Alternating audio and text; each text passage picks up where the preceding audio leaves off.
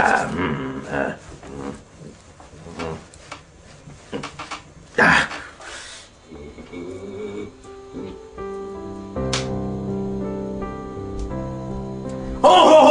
ho, ho! Merry Christmas! Have you been good, boys and girls, this year, boys and girls? I bet you haven't, you little... No!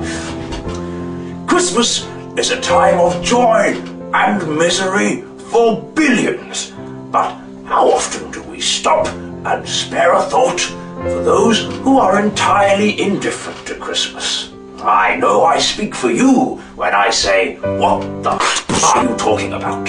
Let me explain.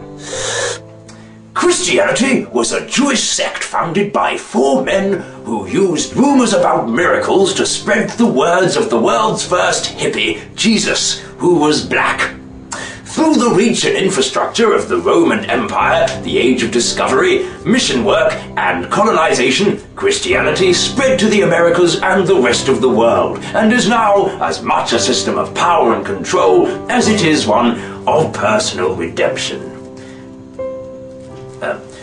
Christmas itself was originally a pagan festival. The 25th of December was celebrated in ancient days as the birthday of the unconquerable sun god, variously known as Tammuz, Mithra, Saturn, Adonis, or Baal, centuries before Jesus Christ was allegedly born.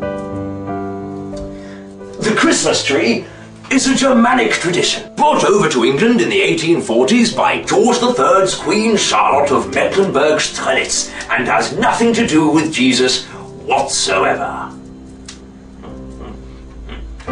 Many think this uniform I'm wearing was invented by the Coca-Cola Company, when in actual fact, Coca-Cola merely popularized the already well-known illustrations by Thomas Nast in Harper's Weekly during the American Civil War.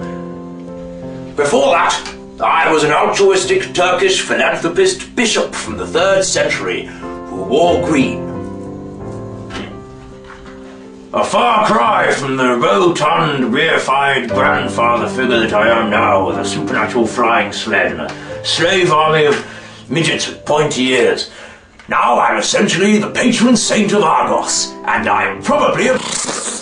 Oh ho ho ho! Merry Christmas!